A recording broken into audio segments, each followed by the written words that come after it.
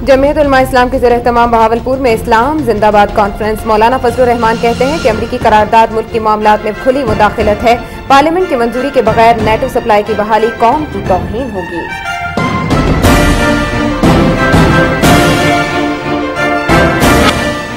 तवानाई बहरान मुल्क को दिवालिया कर रहा है। सबसे पहले मुल्क का निज़ाम ठीक करना होगा। मुंतखब हो गए तो बल्दियाती निज़ाम लाएँगे और पाकिस्तान को बहरानों से निकालेंगे। इमरान खान का इस्लामाबाद में एनर्जी कॉन्फ्रेंस से खिताब।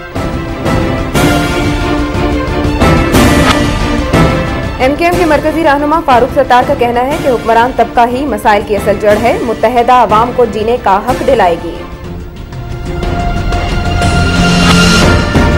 डिस्ट्रिक्ट रिटर्निंग ऑफिसर ने कसूर में कौमी असम्बली के हल्का एन ए एक सौ चालीस में जिमनी इंतबात का नतीजा मनसूख कर दिया। वोटों की दोबारा गिनती का ऐलान। एबटाबाद में सामा बिलादन के मुबैना कंपाउंड को गिराने का काम आखिरी मराहल में दाखिल। और अदाबाद झील के नए स्पिलवे के आरजी बंद को कल धमाके से तबाह किया जाएगा। हुंजा नगर में हाई अलर्ट, मुलहका आबादी की महफूज मकाम पर मुंतकी